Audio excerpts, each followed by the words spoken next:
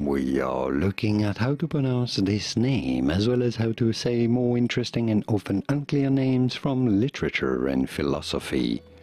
This is a name of French origin. For reference in French, it is said as Barthes, Barthes. In English, however, this is normally pronounced as Bath, Baths. Pretty straightforward.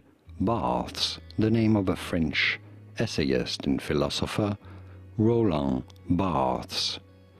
But in French, Barthes, Barthes. No th sound in French and no s sound at the end either. Barthes in French, in English, Baths.